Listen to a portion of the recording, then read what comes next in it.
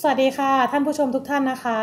วันนี้มาพบกับรายการมุมหมอพืชยูนิไลฟ์นะคะ เป็นรายการที่จะตอบปัญหาของเกษตรกรนะคะ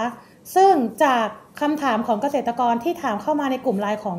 ยูนิไลฟ์นะคะมีมากมายนะคะ วันนี้เราจะคัดปัญหาเด็ดๆนะคะ มาให้นักวิชาการของบริษัทยูนิไลฟ์ได้ตอบคำถามกันนะคะ และที่นั่งอยู่ข้างๆดิฉันนะคะ เป็นนักวิชาการของยูนิไลฟ์ค่ะ พี่นกนิชาลีปาบูทองค่ะ สวัสดีค่ะ ค่ะคำถามที่เกษตรกรถามมาวันนี้นะคะ คือปัญหาการขาดน้ำในนาข้าวค่ะ ซึ่งเกิดจากภัยแล้งนะคะ พี่นกมีคำแนะนำที่จะแนะนำเกษตรกรอย่างไรบ้างคะตอนนี้รู้สึกจะเจอปัญหาภัยแล้งกันหลายจังหวัดนะคะอืมใช่ไม่ว่าค่จะเป็นเขตทั้งเขตภาคกลางเองอืมเขตภาคใต้เองนะคะอืมแล้วก็โดยเฉพาะเขตภาคอีสานนะคะใช่ค่ะแล้วก็แนะนำแบบนี้ค่ะ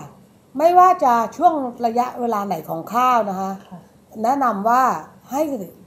ฉีดสารเข้าไปเพื่อให้พืชหนึ่งทนกับสภาพแวดล้อมค่ะสองพืชสามารถที่จะสร้างรากลงไปได้ลึกขึ้น เพื่อที่จะรักษาตัวเอง ให้เก็บน้ำไว้ในตัวเองได้ค่ะและสามใส่สารธาตุอาหารเสริมลงไป เพื่อให้พืชครบขบวนการของพืชได้นะคะวิธีการง่ายๆค่ะ ก็คือแนะนำซีวิลผสมกับนีโอไมเนอร์ฉีด พอฉีดไปปุ๊บ พืชจะสดค่ะนะคะแดดร้อนๆเนี่ยใบใบข้าวเนี่ยจะตั้งเลยนะคะอืมแล้วไปดูที่รากนะคะพืชจะเกิดรากค่ะเพราะตอนกลางคืนเนี่ยพืชจะดูดความชื้นเก็บไว้ในตัวอืมทิ้งระยะเวลาไปสักสิบวันไปดูค่ะใหม่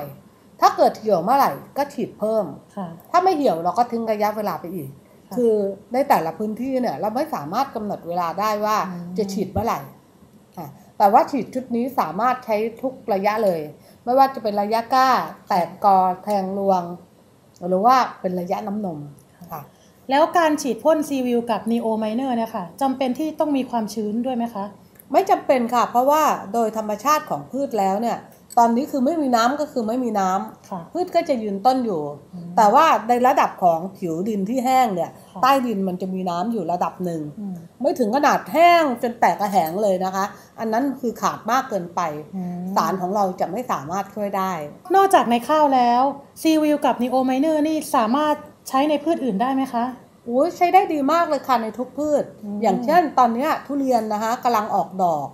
หรือว่าออกมาเป็นผลหางแย้เนี่ยถ้าเกิดว่าบางพื้นที่โดยเฉพาะเขตของศรีสะเกดอุบลเนี่ยเขาขาดน้ำหรือว่าน้ำไม่เพียงพอต่อการลดค่ะดอกดอกของทุเรียนหรือว่าหางแย้เนี่ยจะร่วงหรือค่ะแม้แต่ผลอ่อนก็จะร่วงอืมฉีดชุดนี้เข้าไปค่ะ จะทำให้พืชสดแล้วก็ทนต่อสภาพแวดล้อมอืมประหยัดน้ำฝ่า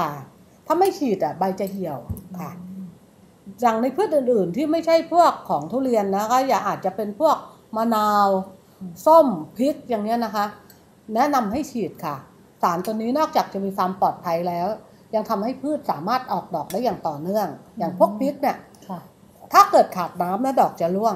อันนี้ก็คือพอฉีดลงไปแล้วพริกก็สดอืมผลก็สดค่ะแล้วก็เกิดดอกขึ้นมาใหม่ มีข้อดีหลายประการค่ะอ๋อเป็นผลิตภัณฑ์ที่ดีมาก ๆ เลยนะคะค่ะที่ใช้ได้สำหรับทุกพืชเลยค่ะค่ะ วันนี้รายการมุมหมอพืชยูนิไลท์ขอลาไปก่อน แล้วพบกันใหม่โอกาสหน้า สวัสดีค่ะ